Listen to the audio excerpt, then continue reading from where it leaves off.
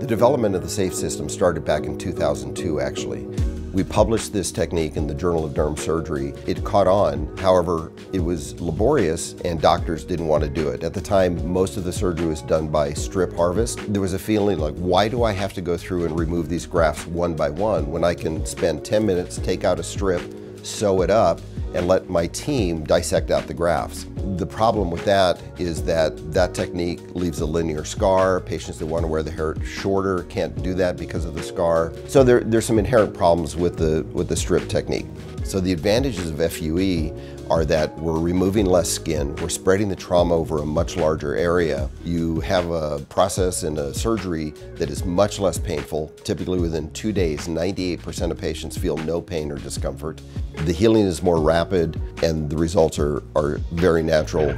So we've been talking about the SAFE system, so now we're going to get a closer look at the actual hardware uh, that comprises the SAFE system. There's really three components to it. One is the controller unit that controls the speed or the rotation of the punch. The second is the, the motor, the handpiece, and finally the dissection tip. So this is really the heart of the SAFE system is the punch and the punch design and what made it unique uh, when we developed it. So let's look at each one of these separately.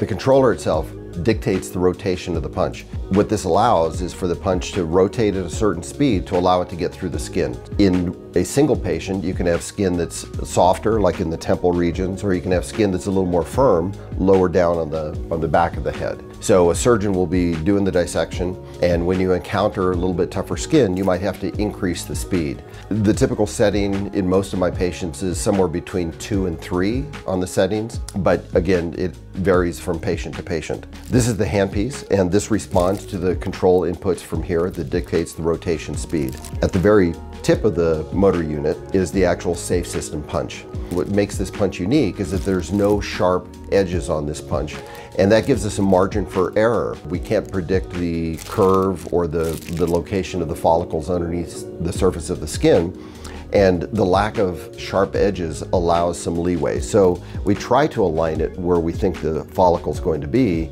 but if there's a curve to it, the blunt tip of this allows the follicle to actually move into the lumen of the punch without damaging it.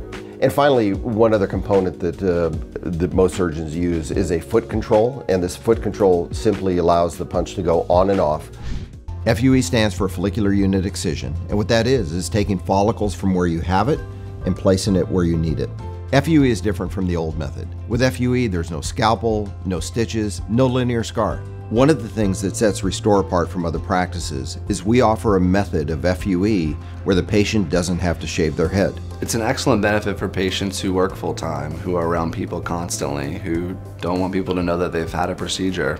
You know, with the Restore No Shave method, you're back to work the next day and no one knows that you've had a procedure done. You'll spend the day watching movies, playing on your iPad, while we do all the work, moving the follicles from where you have them, putting them where you don't. A lot of fears that people have about hair restoration is that uh, it's not going to look natural. But all you need to do is, is, look at our website, look at the before and afters, look at the testimonies that we have, look at the pictures. These are actual patients. When patients come back to see us after 10 months, and they tell us that we've changed their lives, there's no better feeling in the world.